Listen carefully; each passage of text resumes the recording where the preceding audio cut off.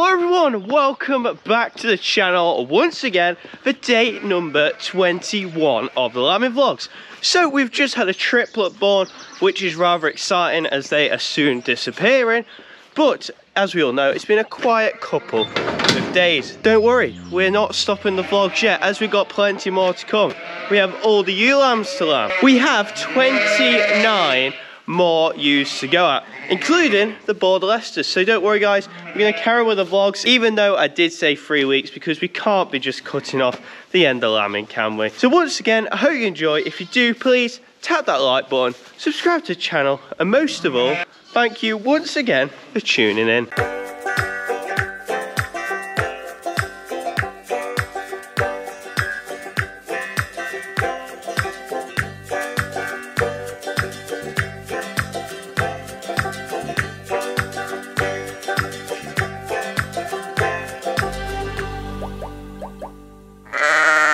First job of the day, we need to get these triplets taken out and sorted. It's looking a bit more sparse in here, isn't it?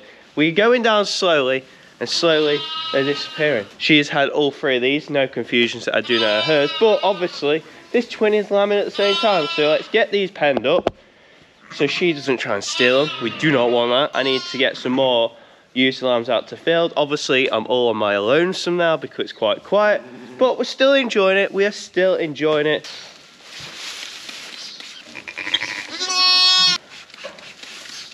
Triplet all penned up, all iodine, all milked.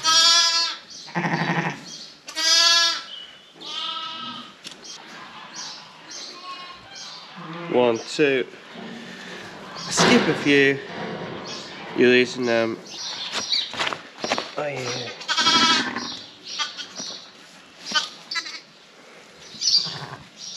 So while we're doing the tailing, it is a very interesting topic. I was watching a video earlier from Kaz from Farm Vet Films, so I'll put the link in the description.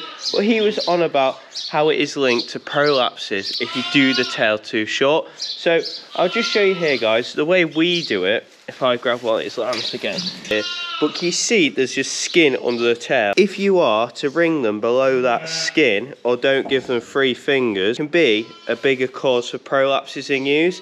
So after watching that, I've actually thought, I'll look at what length I do. So I do it probably four fingers or slightly longer, but I think that's all right. They're being castrated, it does the job, but if you do it too short, it can be a big cause of prolapse because they say the muscle in the tail is one of the biggest factors to holding everything in at lambing time. So just thought I'd talk to you about that. And yeah, check Kaz's channel out, really, really interesting stuff.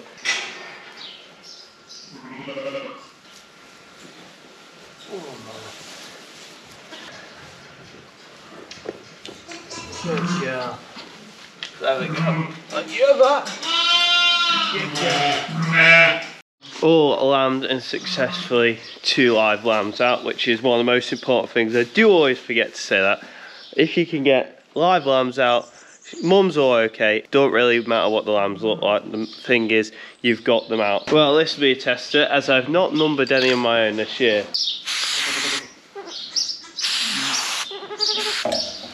Oh, that'll do.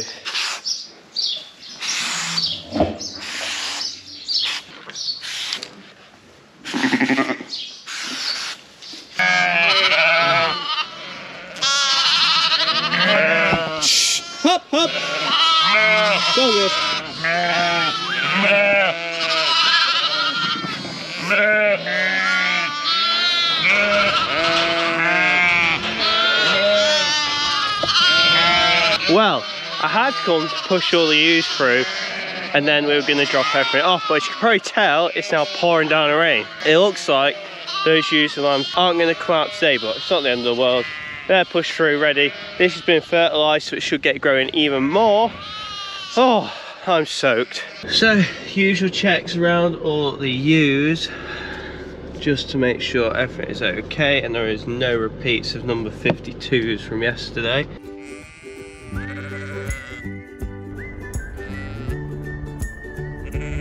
Alright, 224, strutting your stuff.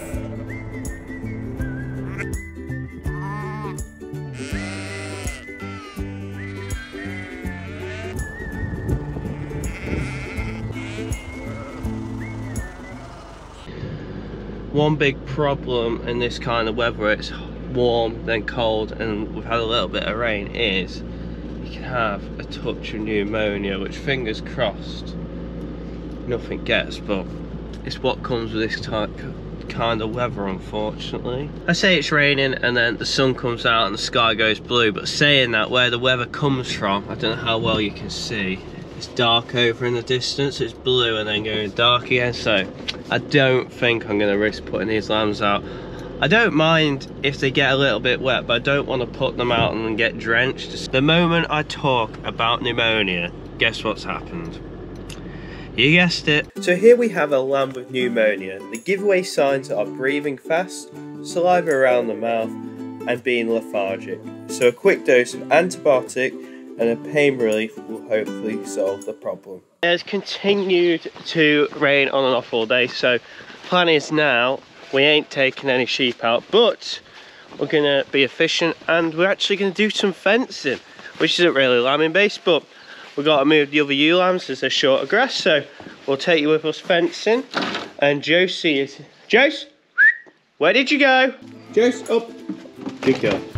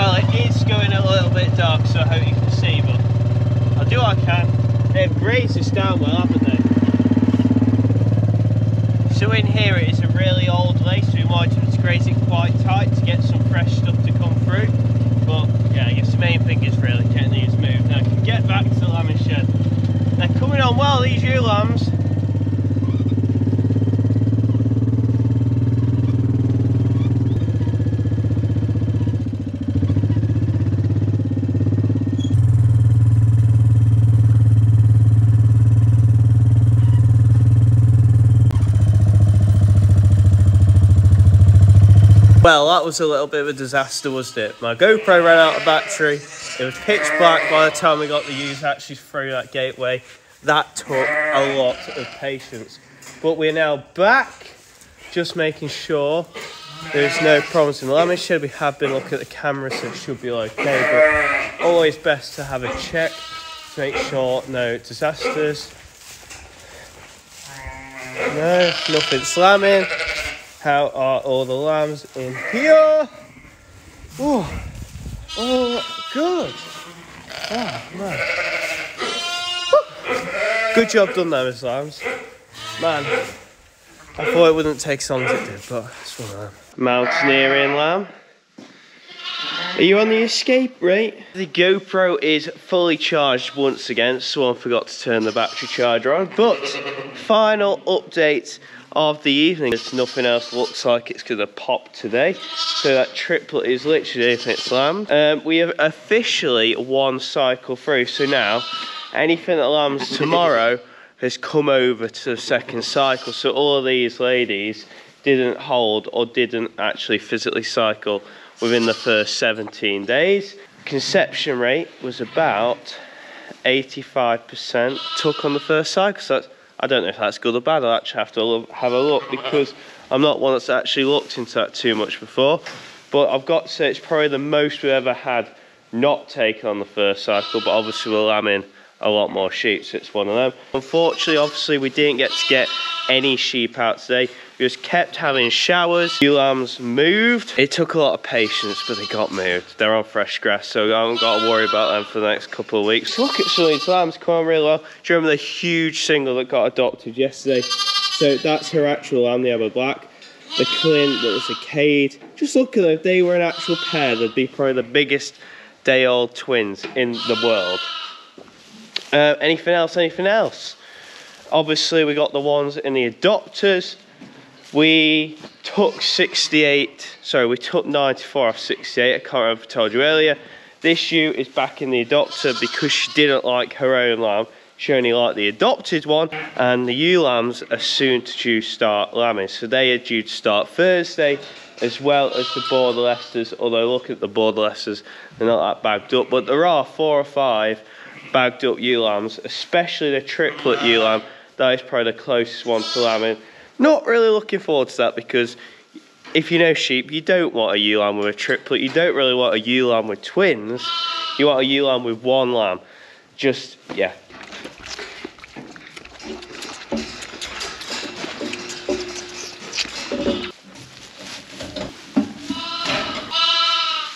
Right guys, so I'm going to leave you at that. Say a massive thank you for watching. Fingers crossed with that lamb with pneumonia outside because hopefully that should pull through. Going forward from now on, we might not do a vlog every single day. We might put some together, it depends how busy we are. If nothing lands, there's no point me putting a vlog out. I'll just put two days together to make it a little bit more exciting. But we will keep going until the very end, guys. I'll show you everything, the ups, the downs, the highs, the lows, everything that goes on here at Cowley Hill at Lambing Time. So massive thank you for watching guys, really appreciate it. If you enjoy it, please tap that like button, subscribe to the channel, check out the merch store, all the new goodies are there to look at now, and I'll see you, I'll see you next time.